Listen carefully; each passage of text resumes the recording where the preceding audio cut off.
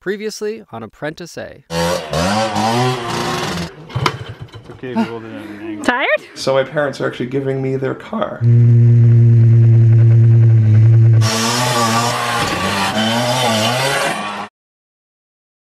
Now that is a license plate I can get behind. My mom showed me a recipe for a natural um, weed killer and it's just like vinegar and salt and Dawn soap. I think it's Epsom salt and Dawn soap. So now I'm trying to find a spray bottle that I can put it in so that I can actually put it on the weeds that we have. And she says it works, so we'll see. Look at all the choices. I think I'm gonna get this one because it's specifically for things and it's got cool measurements on it. Yes. It's been a pretty uneventful day at the house today. There was meetings and then just a whole lot of laying around because it was super hot.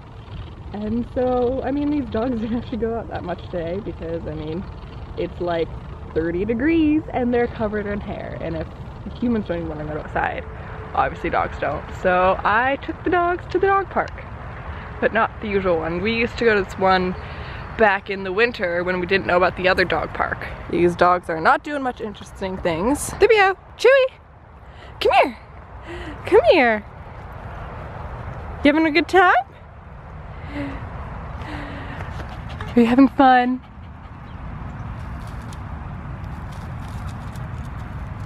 Clearly something over there is much more interesting. So I haven't formally introduced myself to the vlog, like me personally.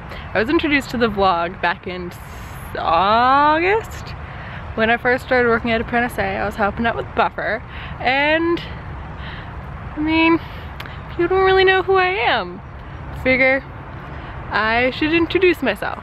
So hi, I'm Stephanie. I work at Apprentice A almost a year now, which is kind of weird to think about. I study media production in university. Chewy's running around back there. And yeah, I really like dogs. That's one thing. I really like animals, which is why I hang out with these dogs a lot. Um, I don't officially live in the house with everyone else, so that kind of seems like it. I'm here normally like 10 days at a time and then I go home for like two to five days and then I kind of come back and then it re repeats. Um, less so during the school year, but now that it's summer and I have very school, very few school related responsibilities, I'm just here all the time. And I'm surprised I haven't gotten sick, and sick enough of me to kick me out. Words are not my forte. So yes, hello, that is my introduction of myself to the vlog. Words. Good evening. Figured I would show you guys the room because we finally finished it. And I think this is the way it's going to stay for at least a week. After that, who knows? So, we've kind of moved stuff around. So let's do one of these. So if you were walking into the room, you have the coffee maker, which has always been there. Mini fridge, vacuum for cleaning, easily accessible. Instruments, dog bed, captain's chair. It's my favorite because it sees the whole room. And look at that. So we basically replaced one of the couches with this really big, really soft, it's really soft couches. And then kind of moved everything over to compensate. And then now this kind of has this weird L part. So if you wanted to like kind of like lounge. Uh, and then you can like still see the TV.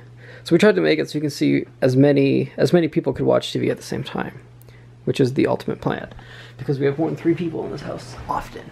So it works for everywhere except I don't know if you sit here or here. I don't know. I guess you can kind of watch TV. Angle's a little sharp.